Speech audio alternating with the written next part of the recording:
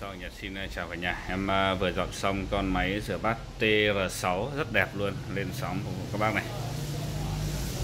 Một con máy em để mã số 24 TR6 Tất cả nguyên zin 100% các bác nhá. Mặt mũi trắng trẻo không son phấn Nhìn còn rất là đẹp đều. TR6 Lưng tôn rất là phẳng các bác này. Cực phẳng đẹp luôn nhá. Đời 2014 Tương đương TR7 Đấy, lưng tôn phẳng tít thỏ lò luôn quá đẹp. Hai bên đầu hỏi lưng tôn rất là phẳng. Một vài vết xước sơn rất là nhỏ thôi các bạn nhé. Gần như con này cái tỷ lệ móp méo rất là ít. Một vài vết xước sơn này. nhỏ. 2014 là series máy con này là 0675 TL6 cực đẹp lưng tôn. Mặt mũi nhựa biết, ngoại thật quá ok luôn, sạch đẹp. Hàng hiếm đấy các bạn TL6 này. Giờ nước nóng 80 độ nói chung là bảng điều khiển giống nhau hết các anh, bên trong nội thất rất là mới luôn. Các cái giá này của nó rất là mới đây các bạn này giá nhìn như mới luôn nhé sạch đẹp luôn. Rất ít dùng. Ở trong tất cả các cái máy mà khi bán đi các bác nhé thì bên em đều phải là test ngon lành hết.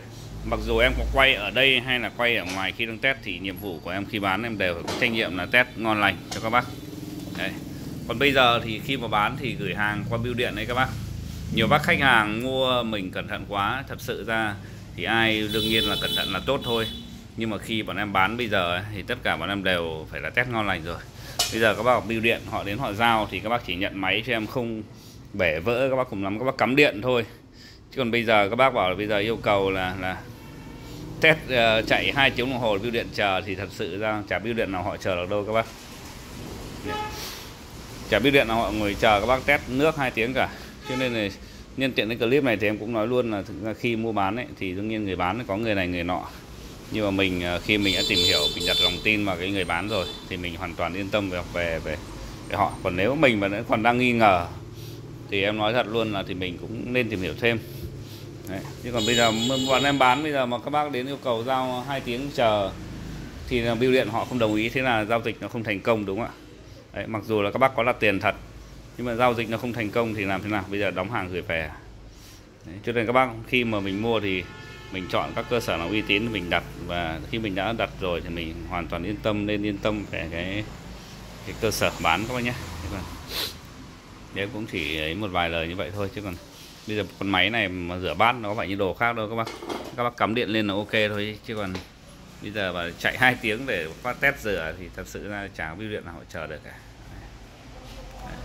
cũng rất là mong muốn bán được hàng, nhưng mà nhiều những cái trường hợp mình không thể làm gì được.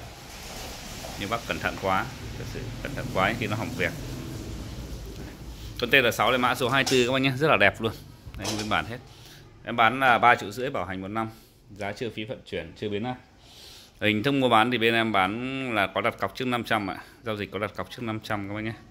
Các bác cứ xem thoải mái, nghiên cứu giá cả, thông tin máy móc, các bác cần hỏi gì cứ nhắn cho em qua Zalo, số điện thoại ở đây khi mình cảm thấy ok thì mình giao dịch. Hình thức thì em quay như thế nào thì bán đúng con máy như vậy. Đấy. máy Nhật nó chạy điện 100V chưa có biến áp đâu. Giá chưa biến áp coi nhé chứ các bác phải mua thêm một biến áp nếu mà nhà chưa có. Nên em bán à, loại của Việt Nam mình à, làm anh em làm khá là ok đấy 500 nghìn.